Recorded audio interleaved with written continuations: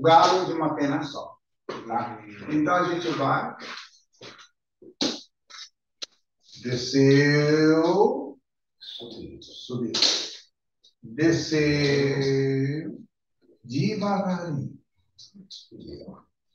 Desceu. Congela. Tá. Bom, eu queria parabenizar por todos estão hoje aqui, tá? Tem gente que está há bastante tempo, como Quindiro, né? tem outras pessoas, tem umas pessoas que estão tá mais recente, mas o que mais me agrada é que eu vejo a evolução, a melhoria das pessoas, dos adultos, né? Que nem Eliane começa, né? no começo ela melhorou, mas começa a partir para estragar. e muita gente fizeram isso. Mas, com paciência, a gente acaba conseguindo trazer ela no caminho certo. Hoje, eu posso dizer que cada vez ela está mais consciente, porque o treino de energia é totalmente real. Tá? Apenas, pessoal, eh, você busca conferência ou não.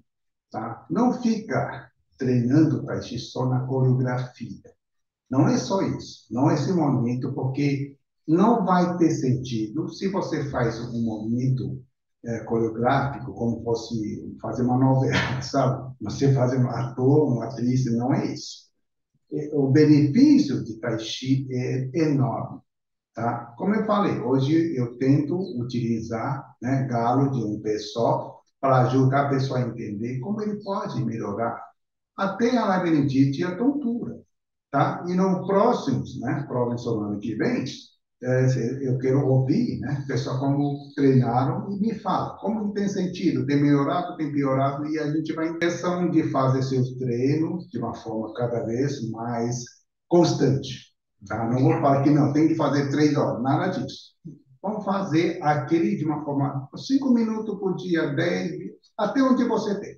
Tá? De uma forma bem tranquila, porque aprender tal é isso. Não é feito doido, ficar treinando, não vai funcionar.